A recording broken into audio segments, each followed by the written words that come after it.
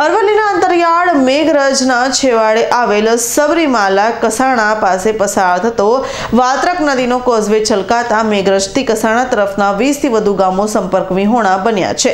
ત્યારે ગ્રામજનોની પુલ બનાવવાની માંગ ઉઠી રહી છે. અરવલ્લી જિલ્લામાં છેલ્લા બે દિવસથી ખાબકેલ ભારે વરસાદના કારણે સમગ્ર જિલ્લામાં નદી નાળા છલકાવાની ઘટના સામે આવી છે. ત્યારે મેઘરજ તાલુકાના અને રાજસ્થાનની સરહદે આવેલા કસાણા ગામે સબરીમાલા વિદ્યાલય પાસે વાત્રક નદીનો કોઝવે આવેલો છે. આ કોઝવે કસાણા આસપાસ ખાબકેલ વરસાદ તથા ઉપરવાસમાં થયેલ વરસાદના કારણે છલકાયો છે, જેના કારણે કોઝવે પરથી પાંચથી છ ફૂટ પાણી વહી રહ્યા છે. જેના કારણે મેઘરજ અને કસાણા તરફના વીસથી વધુ ગામો સંપર્ક વિહોણા બન્યા છે. કસાણા ઓઢા સહિતના ગ્રામજનો એક તરફથી બીજી તરફ જવા માટે અસમર્થ બન્યા છે. કસાણાથી આગળના વીસથી વધુ ગામોના લોકોનો સંપર્ક મેઘરજ સાથે છે.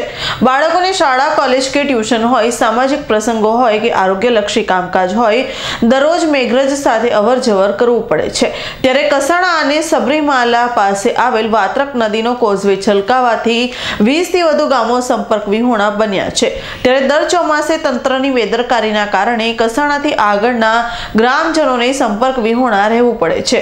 તો સ્થાનિકોની કોઝવેના બદલે પુલ બનાવવાની માંગ છે, જેથી દર વર્ષે ગ્રામજનોને પોતાના કામકાજથી અળગા રહેવું ના પડે. આ બાજુ દસ ગામ આવેલા છે અને આટલું પેલી તરફ દસ ગામ આવેલા છે.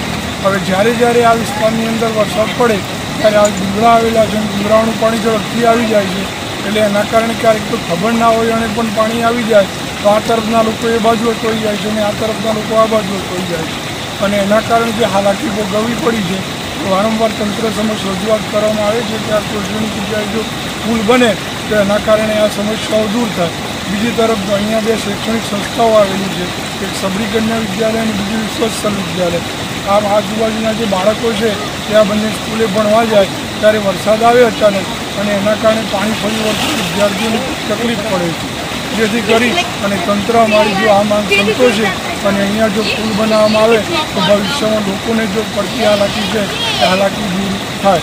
ઘણી વાર તો એવું બને છે કે બીમારી હોય કે કોઈ આકસ્મિક પ્રસંગ એવો આવી જાય, ત્યારે આ રીતે જો પાણી આવતું હોય, તો કઈ રીતે જઈ શકાય? અને એના કારણે જે તકલીફ, મુશ્કેલીઓ છે, એ મુશ્કેલીઓનો સામનો કરીને પણ લોકો થાકી એટલે મારી આ એક જ માંગ છે કે આની જગ્યાએ પુલ બને. જયદીપ ભાટિયાનો રિપોર્ટ અરવલ્લી.